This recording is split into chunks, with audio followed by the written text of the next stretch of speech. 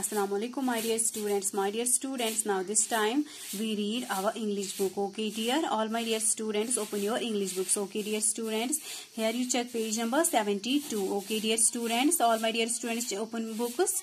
Yes dear okay dear students now look here our topic is meet the letter W meet the letter W. Dear students, these two words that starts with the letter W, these two words we read. Okay, dear?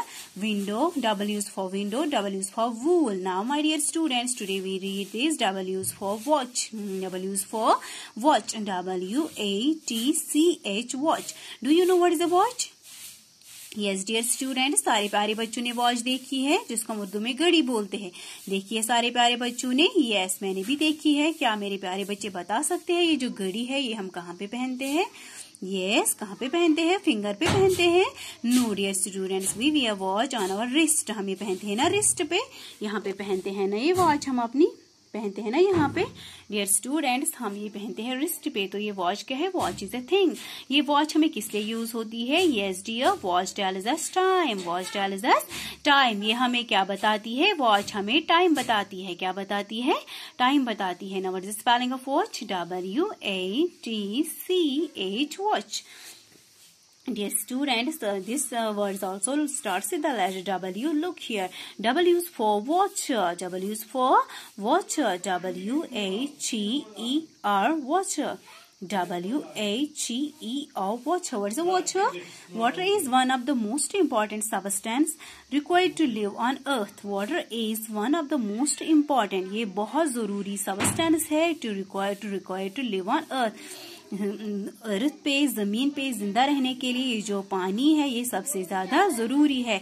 Our mother earth will not exist without water क्या आपको पता है जो हमारी mother earth है?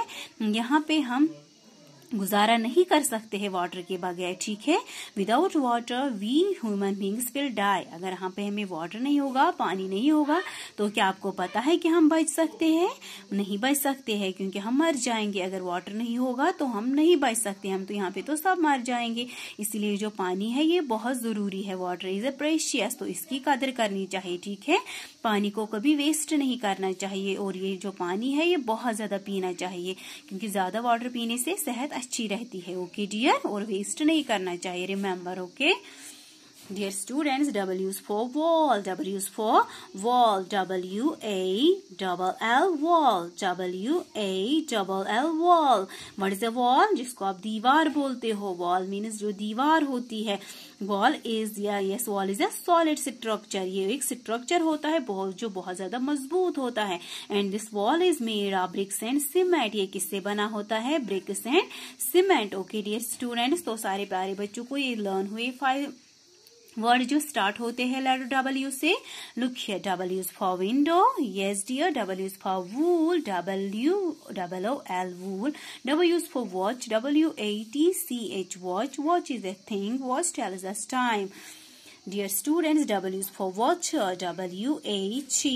E R watch what is a watch yes water is one of the most important substance required to live on earth ये बहुत ज़रूरी है।